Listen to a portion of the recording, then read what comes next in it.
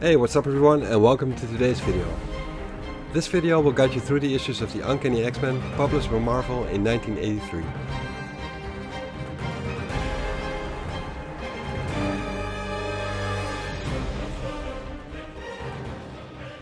Issue 170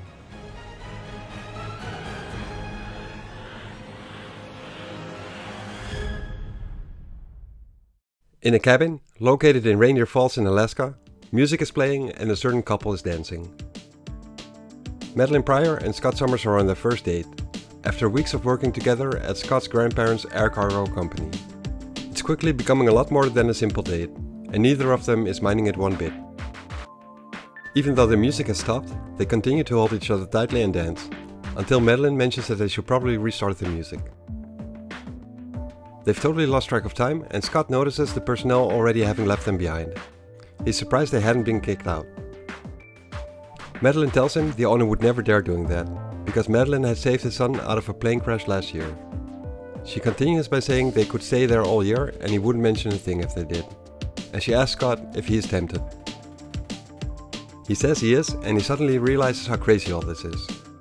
Madelyne notices a change in his behavior and asks him what's going on, as his mind races with thoughts about how bad, but at the same time how good this feels. Madelyne asks him to please talk to him, but all he can think about is getting out of there and leave Madelyne behind as fast as he can. He looks at her as she's standing in front of the fireplace, as her silhouette surrounded by flames reminds him even more of his dead lover Jean Grey the Phoenix. Madelyne, still confused about his change in behavior and asking if it's something she said or did, approaches him and tells him she's never felt like this ever before either. Scott tells her it's not because anything she's done, but somewhat has to do with her regardless. He tells her that there was once a woman, a woman called Jean Grey, and that they were in love and had planned to get married, but that she died before they could.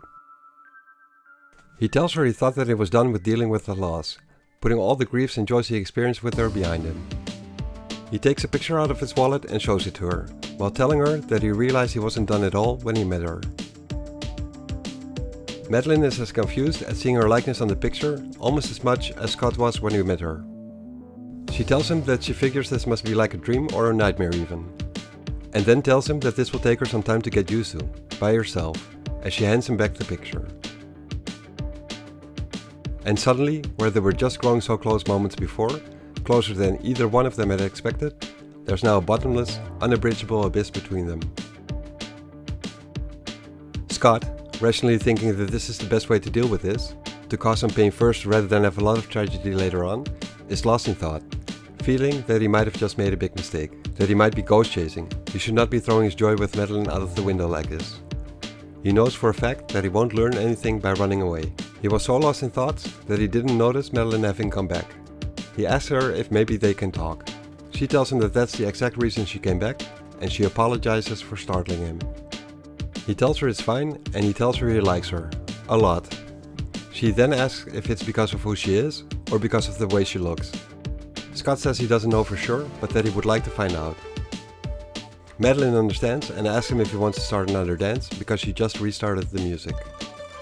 In New York, a thousand feet below the streets of Manhattan, current and a former member of the X-Men have been taken prisoner by the Morlocks, who have been living in the tunnels here. Outcast from society, not only because of their mutant powers, but also because of their often deformed looks. Their current members, Colossus, Storm, Nightcrawler and Sprite, came down here looking for their former teammate Angel. Angel had been kidnapped by the Morlocks, because their leader Callisto wants to marry this beautiful man, and the captured X-Men are being forced to watch the ceremony.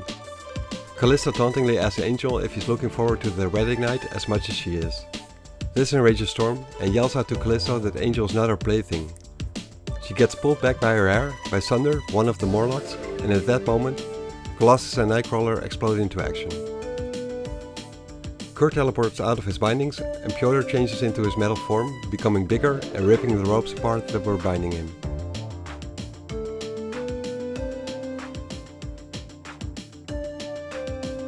Nightcrawler attacks Callisto and Colossus punches Sunder. Being in the tunnel now allows Storm to use more of her weather manipulating powers, and she summons lightning, scattering the crowd of Morlocks around her. She realizes that the longer they stay there, the smaller their chances of escaping become. Nightcrawler is able to knock out Callisto by teleporting her multiple times in succession, which takes a lot out of her because she's not used to it. He teleports back to the altar, holding Callisto in the air, telling the Morlocks to release his friends and allow them to leave. Sunder asks Nightcrawler to please not hurt Callisto, and Storm tells him that they have heard their demands. She hopes for the Morlocks to fall for Kurt's bluff, and realizes that there's still Kitty to find. They have no idea where she is, and no way to navigate in the maze of corridors below the ground. She wonders who or what these Morlocks are, and is amazed at Sunder being able to take blows from Colossus and still stand. Someone's hand is approaching Storm, which startles her, and the person the hand belongs to is telling her to not be afraid of a little old lady. Because what can an old lady do? But this lady is no normal lady. It's Plague, and she's making Storm grow very sick very quickly. Storm falls to the ground, and Plague tells Nightcrawler her fever is temporary. Sick as a dog, but she will survive. But if Plague touches her again, she will die in agony. She tells him to give up now. Nightcrawler realizes he doesn't really have a choice, and that retreating for help is not really an option either. He'd best stay here now, learn as much as he can about these Morlocks, and hope for a chance to be able to help the others. Plague tells Colossus to stand down as well. Callisto tells Kurt he made a mistake in not killing her, because when she's finished with him, he won't be able to go anywhere either.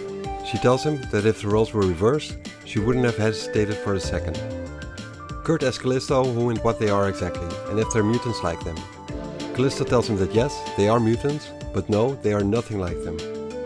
She tells him how rejected from society they've become, how this alley has become their home, and how they've come together. With the help of another mutant whose power allows him to sense other mutants, and his name is Caliban. Caliban himself has been looking after a very sick Kitty Pryde, trying to get her fever down, but it doesn't seem to help any. Kitty feels like she's dying and asks Caliban to help her and the rest of the X-Men, but Caliban knows that if he does, she will leave him and never return. Kitty tells him that's not true and that she'll stay. She promises, but Caliban asks him how he could trust her. She tells him she gave her word and she swears that if he doesn't help, she will hate him for the rest of her life. She asks him if that is what he wants. Caliban doesn't notice Kitty passing out from the strain as he's trying to figure out what to do with his dilemma. To help Kitty or defy Callisto. Somewhere else, on a hunting ground, Riders on horses are following wolfhounds which are on the trail of their prey. The location is England and the year is 1783, but their prey is a woman who won't be born for several years. The prey is Mystique and she has no idea how she got here. All she is concerned with now is that she has to run for her life. The last thing she remembers is that she was in the bed in her house, but this feels way too real to be a dream. As she's running, she trips and stumbles into a stream of water. The hounds caught up to her and they start tearing at her clothes and flesh. One of the female riders on a horse called Satan calls for Sir Jason to get the dogs in line. Jason pulls the dogs off, picks up Mystique, and hands the rider a knife to perform the coup de grace. The red-haired lady, dressed in red and white, thanks him and grabs the knife.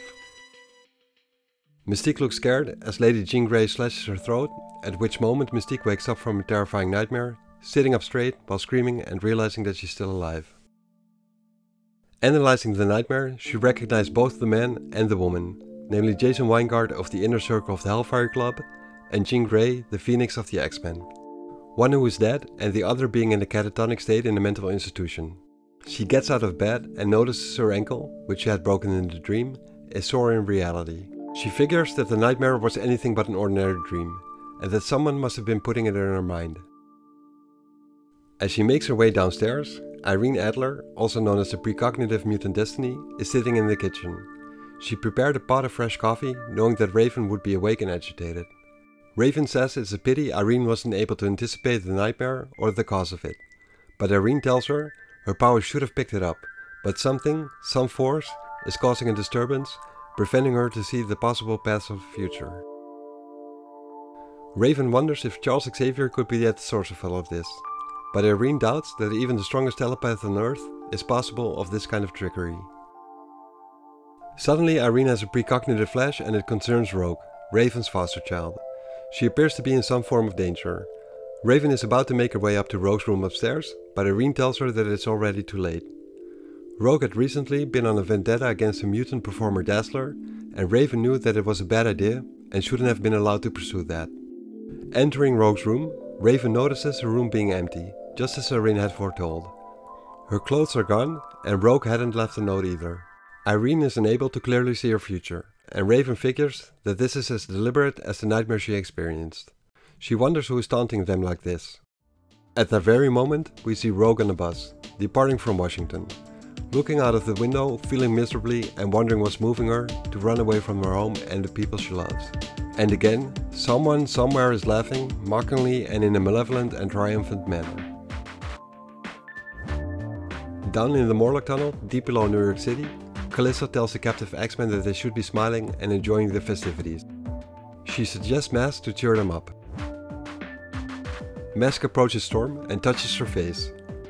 The skin on her face starts to stick to Masque's fingertips as he transforms Storm's face. Nightcrawler sees this with a perplexed look on his face, then grows angry and tells Masque to stop this, telling him that Storm is not a toy to be played with, but a human being who deserves to be treated with dignity and respect. Masque then turns towards him and takes off his hood, revealing his own disfigured face, and asks Nightcrawler how much dignity and respect he himself deserves. He can reshape any face or body, except his own, and asks Kurt if he can figure out why he hates what's pretty, as he moves his hand towards Kurt's face. Callisto tells Masque to leave Nightcrawler alone, telling him she was thinking of having Masque turn him inside out, but she changed her mind. She likes his courage, and figures that with his looks, he's as much as an outcast as they are and invites him to join them instead. Kurt tells Callisto that he will not desert his friends, besides the fact that he spent all his life fighting to be accepted as he is. To not be judged by his looks, but by his deeds instead. All of them are then startled by the arrival of Caliban. He is carrying Sprite, who is on the verge of dying. He's begging Callisto to save her. Seeing this, angers Colossus to the point where he armors up and he breaks the metal chains that were keeping him captive and he tells them that if Kitty does indeed die, he will bring this tunnel down on them all. Kurt, who teleported next to Caliban, tells him to let him take a look at her since he has medical training. He asks him if they have a healer amongst them. Caliban tells him that they do have one that heals broken bones and knits wounds, but not one that's able to cure the sickness that plague brings. Kurt wants to get Kitty back to the mansion as soon as possible, since they have advanced medical facilities there. But Callisto tells him that they're not going anywhere, and if he wants his friends to stay healthy, he will stay here until Callisto tells him differently. And if the brat dies, she dies. Caliban then informs Nightcrawler that the only way to overrule Callisto is to remove her as leader of the Morlocks, something which can only be done through trial by combat. Something Kurt is willing to do if that's the only way of saving Kitty. Nightcrawler challenges Callisto, who then tells him that this will be a battle to the death. A minor detail that Caliban forgot to mention. Storm then, even though she's extremely sick, steps in as the leader of the X-Men and challenges Callisto instead, telling her that the duel and her life are hers to take. Kurt asks Storm if she's lost her mind. She is in no shape to fight and Kitty's life is at stake. But Ororo tells him that she is as adamant as Callisto is, taunting Callisto as she says that. Callisto is up for the challenge and tells Nightcrawler not to worry. Once Callisto has dealt the finishing blow to Storm, it'll be his turn. The arena is set, and Callisto makes sure Storm understands not to use any of her mutant powers, or Kitty's throat will be cut out. Storm says she understands. Callisto throws Storm's knife through the air, looping it and twisting it around. But Storm, with a stoic look on her face, angry even, stares straight at her and effortlessly plucks the knife out of the air. This bluff strikes Callisto and Colossus both, but Nightcrawler is recognizing it as bluff, knowing that Storm has vowed to never take a life. And if Callisto realizes this, Storm is done. The duel has started and Callisto is a born huntress, rivaling Wolverine's fighting prowess, and she enjoys fighting. She draws first blood and laughs at Storm's clumsiness. She tells Storm that she's making this way too easy, and Storm responds by saying that she talks too much, as she tricks Callisto by wrapping her cape around Callisto's right arm. She pulls Callisto's arm in hand, holding the knife, up in the air, making them stand closer to one another as she stabs her right in her heart. Callisto then drops to the ground and Storm walks away from her body. She walks up to the altar and takes Angel down, carrying him in her arms. She tells Colossus to take Kitty and addresses the rest of the Morlocks, telling them that if any of them has an objection, they are welcome to challenge her and risk the same fate as Callisto's. She tells them that she is now their leader and there's no need for them to keep hiding in the tunnel. There is a home and a sanctuary for them at Xavier's. Caliban responds by telling her that he knows her words are true, but they belong down here. He continues by saying that he hopes that from this day forward, the Morlocks and the X-Men can live in peace and will continue as friends. Storm asks Nightcrawler about Callisto and he tells her that she is alive, thanks to the healer. But if he hadn't been there, she would have surely died. Kurt asks Storm if stabbing Callisto in her heart was her intent, and Storm confirms. Kurt says he never expected that of her, and Storm responds by saying that neither did Callisto, and that was her mistake.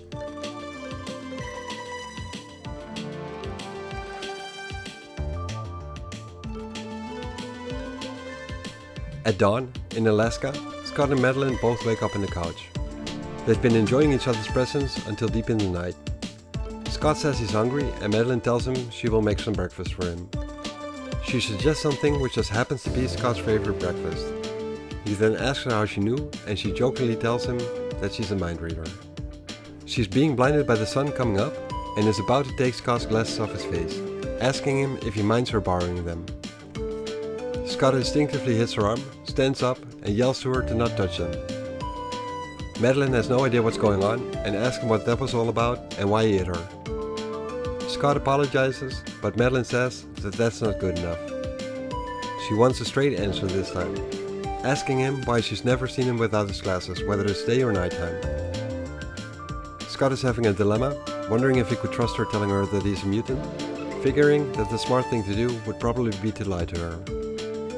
After a couple of seconds, he grabs a coin out of his pocket, flicks it in the air, takes off his glasses for a second, and punches a hole right through the coin with his eye beam. As he catches the coin, he tells her he's a mutant, telling her the strength of his powers. Madelyne says that she's impressed, but he tells her not to be. He then tells her that he can't control his powers, always needs to be on his guard, and needs the glasses to keep the beams in check. She understands the risk and responsibilities involved, and it's a relief for Scott to have found someone who does. She mentions that she is aware of mutants and how they are being seen by the general populace and asks him why he told her a secret. He tells her he did because she asked, and because he can't, or doesn't want to, lie to her about anything. He tells her he would understand if she wants him to leave now. She then tells him that if the time will ever come, she will let him know, but she wants him to please stay for now. He responds to her by saying it's his pleasure to do so, and she says she's glad to hear that. Thanks for watching this video and I hope you enjoyed it. If you did, please consider liking this video and subscribing to the channel if you haven't done so already, because that will help me out in growing this channel and being able to produce more videos like this one. See you next episode.